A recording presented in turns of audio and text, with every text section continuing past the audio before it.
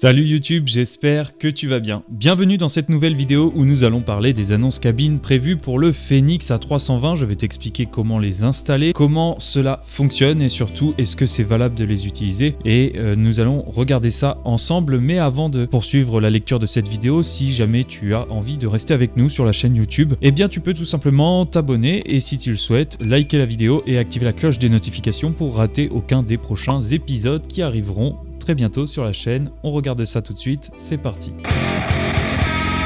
Phoenix A320 a mis un guide sur leur site internet, vous y avez accès uniquement si vous avez téléchargé le Phoenix A320 bien évidemment et dans votre compte vous pourrez aller dans cette page là et vous cliquerez sur blog 2 ici et annonce cabine pour accéder à leur tutoriel écrit pour pouvoir faire l'installation. Si vous n'avez pas envie de lire, suivez simplement cette vidéo, tout vous sera expliqué. Alors tout d'abord, je vais partir du principe que vous avez déjà acheté le Phoenix A320 et que vous avez le petit logiciel euh, Phoenix Library Manager est disponible sur votre PC suite à l'installation du Phoenix. Vous avez aujourd'hui deux versions du Phoenix, le Phoenix A320 avec les moteurs CFM et le Phoenix A320 avec les moteurs IAE. Dans mon cas aujourd'hui, je vais utiliser euh, le Phoenix avec les moteurs IAE. Avant de commencer, il va d'abord falloir télécharger une livrée. Je vous invite donc à cliquer euh, sur rechercher ici sur ce bouton et vous allez taper le nom de la compagnie que vous souhaitez ou alors vous pouvez simplement regarder la liste de toutes les compagnies qui est disponible ici. Une fois que vous aurez choisi votre compagnie, il vous suffira simplement de cliquer sur le petit bouton rouge qui se trouve juste là pour pouvoir commencer le téléchargement. Une fois que le téléchargement sera effectué, vous allez dans My Libraries ici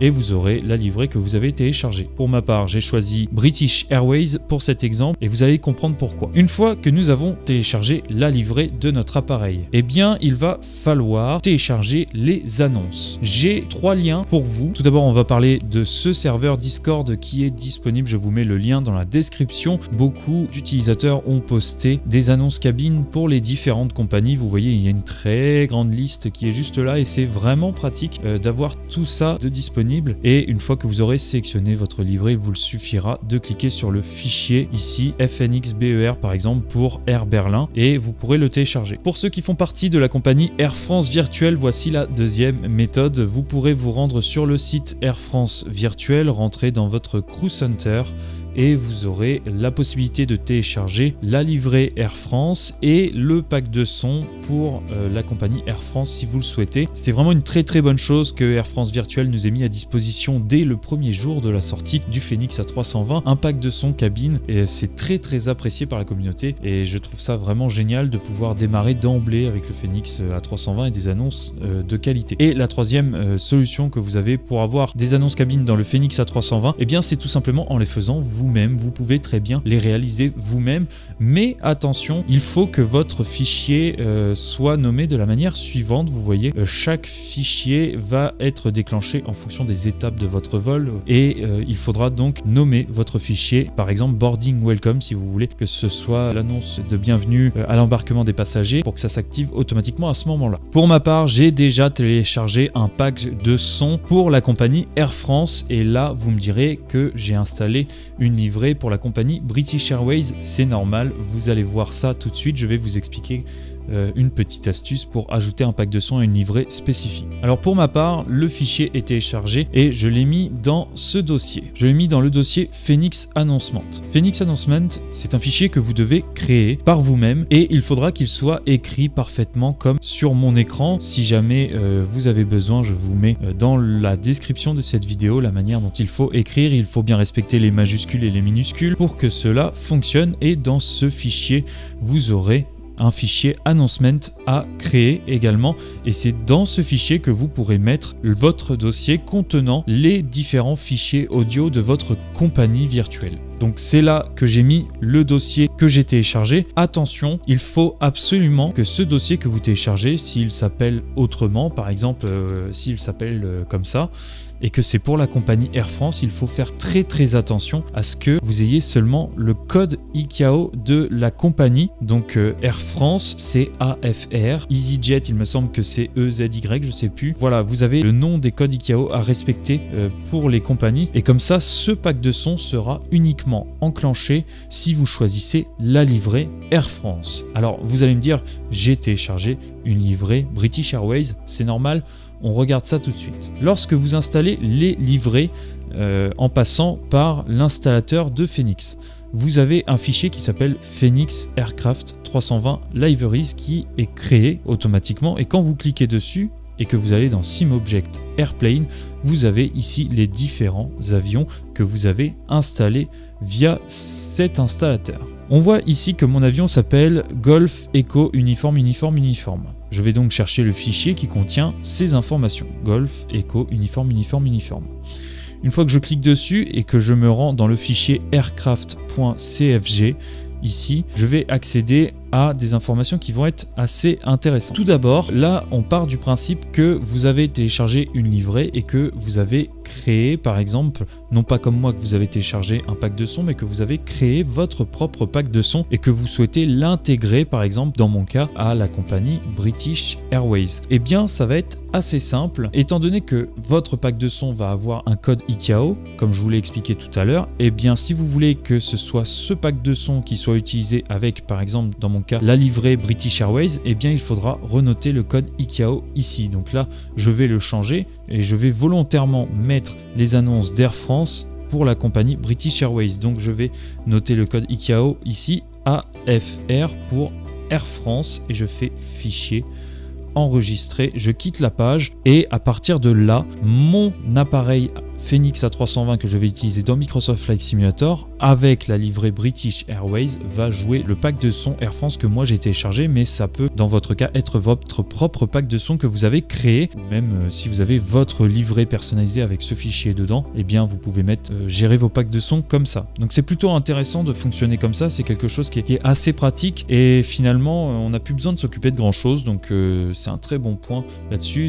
Ça paraît un peu compliqué à mettre en œuvre mais en fait c'est assez simple et assez rapide. Donc je fais un récapitulatif très rapide. Dans votre dossier community, vous devez euh, avoir le fichier Phoenix Announcement que vous avez créé avec le fichier Announcement que vous avez créé et dedans vous mettez votre pack de son euh, que vous avez téléchargé avec seulement comme nom le code ICAO de la compagnie. Dans le fichier community toujours, vous avez le dossier Phoenix Aircraft 320 Liveries qui est créé si vous installez des livrets via l'installateur de Phoenix a 320 et en cliquant dessus, vous allez dans SimObject Airplane et vous sélectionnez l'avion de votre choix.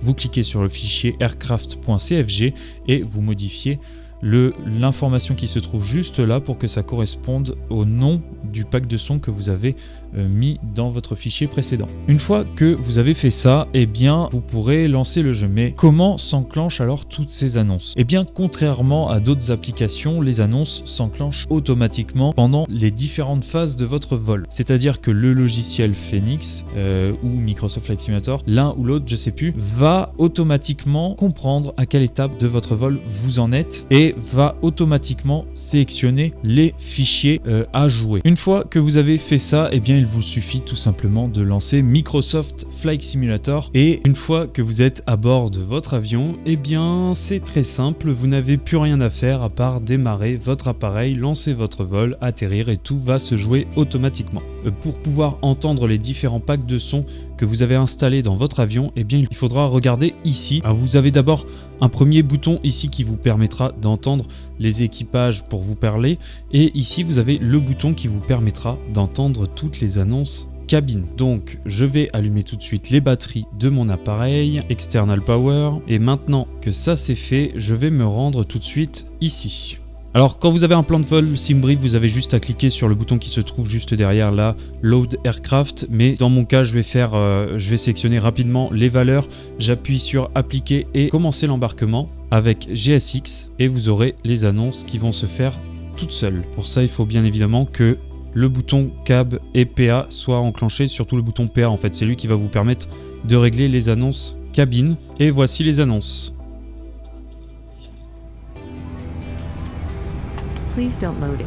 Et votre confort durant ce vol. Les téléphones portables peuvent maintenant être éteints, et ce jusqu'à l'arrivée de notre point de stationnement. Veuillez attacher et ajuster votre ceinture. Au nom d'Air France KLM et des partenaires SkyTeam, nous vous souhaitons bon voyage. Je vais quand même baisser le volume. Good morning.